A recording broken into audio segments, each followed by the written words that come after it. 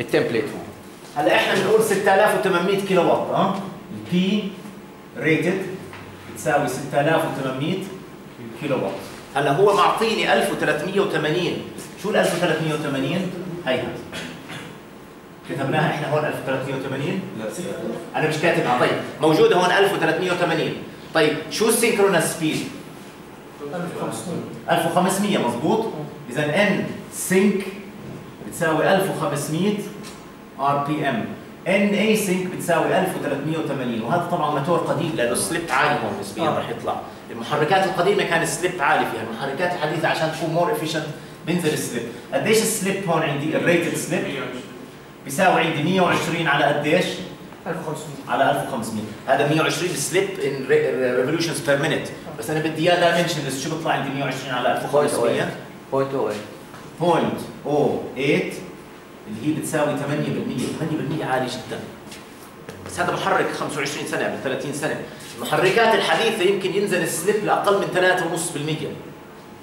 3.5% كل ما نزل ال slip شو بصير عندي ال efficiency تتحسن ال efficiency تبعت المحرك فلذلك المحركات الحديثه بحاولوا يخففوا ال slip كثير إذا ال slip عندي 8% هلأ خليني أحسب أوميجا اي sync لأني ما بقدر أعمل حسابات ال power باستعمال N لازم أعمل حسابات ال power باستعمال أوميجا. إيش وحدة omega؟ radian per second radians per second إذا اقسم لي هلأ 1380 على 60 وأضرب في 2 pi.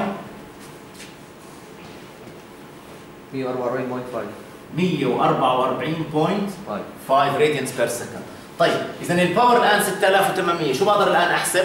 هاي rated power. وهاي synchronous speed شو بقدر أعمل؟ rated torque اللي هو هذا. اذا T rated المفروض يكون 6800 واط على 144 ونص radian per second اقسم 6800 على 144 ونص 47 47 هي 47 هاي مضبوط كانت rated هلا إذا بتطلعوا بنفس ال بنفس ال name plate في عندي 101 وفي عندي 107 هلا أظن ال 101 احتمال إنها starting torque خلينا نقسم 101 على 47 يعني ال ratio تبعت ال rated torque أو starting torque على ال ratio تبعت ال rated torque وين starting torque هون؟ هيها قديش تقريبا هاي ال ratio عادة في معظم محركات ال induction حوالين اثنين. تقريبا حوالين اثنين. اذا هذه بتطلع عندي 101 على 47 قديش تطلع؟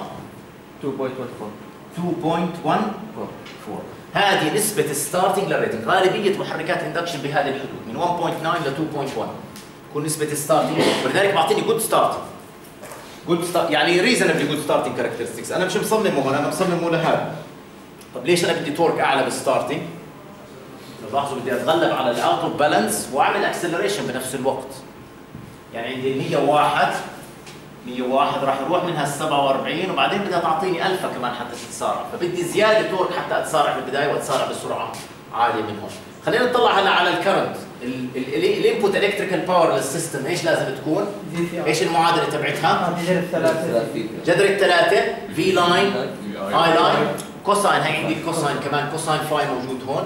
إذا عندي ال input electrical power طبعا ال input electrical power شو بتوقع تكون علاقتها بال 6800 أقل منها ولا مساوية ولا أعلى منها؟ أعلى. أعلى. لأن لما بحط input electrical power راح يضيع منها efficiencies في الهاي إذا ال P electrical input بدها تساوي جذر الثلاثة. V line قديش عندي؟ 380 مش هيك؟ I line أنا هلا خليني أفترض انها line اي وحده من هدول. وين كانت الأرقام اللي موجودة؟ هون هيها starting هلا أنا بدي أتوقع إنه starting أو خليني أقول إنه starting current حسب ما هو معطيني هون.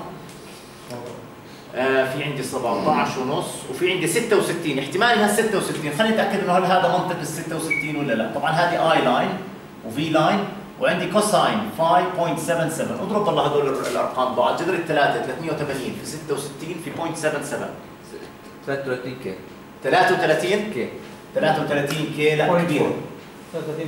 33.4 0.4 اذا كبير هذا الرقم مش هيك؟ اذا الرقم ال- آه هذا ستارتنج لازم إحنا أخذنا الريتد كرنت مش هيك؟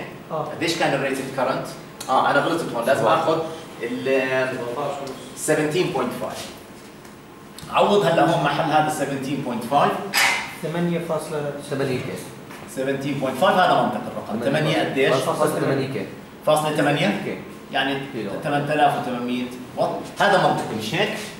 هي عندي 6800 8000 اذا شو ال efficiency تبعت هذا المحرك؟ هاي بس ال efficiency للمحرك. 6.8 على 6800 على 8800 اللي هي بالتسعينات 77 0.77 اللي هو سيء طبعا هذا.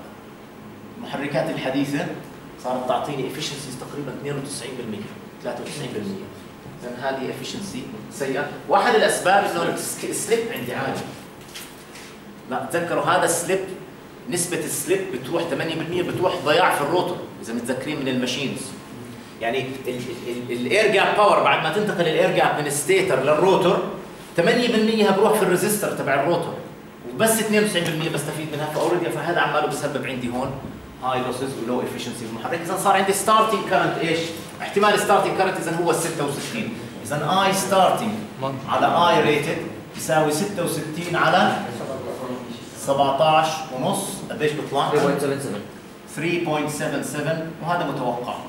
starting إذا بعمل starting on load عندي تقريبا من من من ثلاث إلى سبع أضعاف في ال current إذا بعمل direct on line starting لل system ال starting current عالي. بيكون هون هون في الحالة هاي حوالي ثلاث أضعاف ال system